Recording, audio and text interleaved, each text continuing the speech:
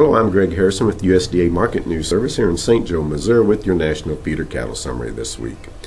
Steer and heifer calves in the southern plains sold mostly steady to $5 higher. We got instances where they're as much as $10 higher, and mostly on that's on steer calves. In the southeast, most of the calves trading unevenly steady this week.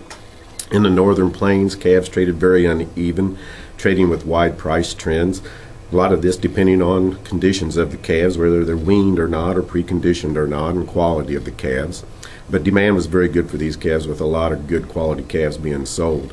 Feeder market is fully entrenched in the fall run, with supplies mainly being made up of calves for this time of year. Yearlings traded this week steady to $5 higher with very good demand. A strong Arctic blast moved across the northern plains, dropping temperatures to the single digits this week with wind chills well below zero. This strong cold front moved down across most of the country and all through the major cattle producing areas. And hopefully, this should help uh, improve the health of many calves by wiping out many airborne illnesses. Uh, currently plaguing new calf purchases.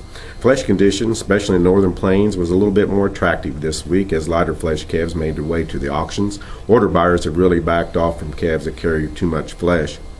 And there's many this week, many high quality calves offered this week in the northern plains and through the southern plains, selling very good demand for light calves heading south to the wheat pastures and also to be grazed out for yearlings for next year.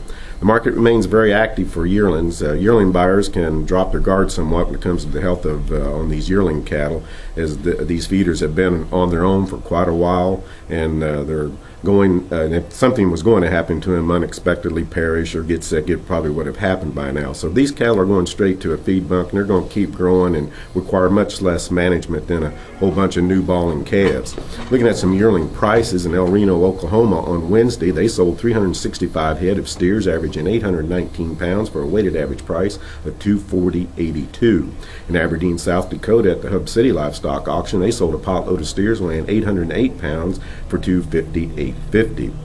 And looking at some prices on some steer and heifer, steer and heifers, we're seeing wide price spreads, um, mostly on calves under 600 pounds. As uh, difference runs mostly 30 to 40 dollars per hundredweight difference between steers and heifers. And a lot of this is due to the performance differences between steers and heifers, as break-even prices are very high. Steers usually will outperform heifers, and and hang and get to heavier weights quicker. So at this time of year, you just see a better demand for steer calves. In Bassett, Nebraska, on Wednesday, they sold 160 head of fancy steers weighing 640 pounds that sold at 292.75 talk a little bit here about some feeding cows in Montana and Wyoming. This time of year, a lot of cows are making their way to the auction, and with very few of the cows going to slaughter. This is not from the lack or availability of the cows, as weigh up cow runs and offerings this time of year are very large in that part of the country, and you're seeing a lot of auctions that start very early in the morning and go well into the night uh, by the time they sell their feeder calves uh,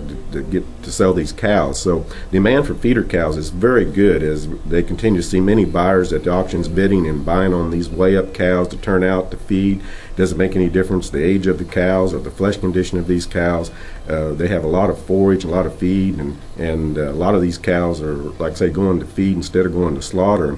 And it's also worth mentioning that uh, a lot of uh, these cows that can be thin cows and poor condition, but they're heading to feed to be turned out. So put on some quick pounds. So very good and active market on these fed uh, feeding cows up in Montana and, and Wyoming.